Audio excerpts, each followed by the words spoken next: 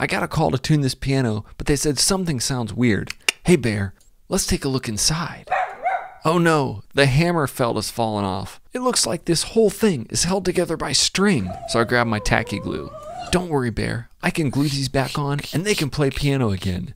So I'll put these right back where they're supposed to go. And now I've got sound. So I grabbed my tuning hammer and I tuned the piano.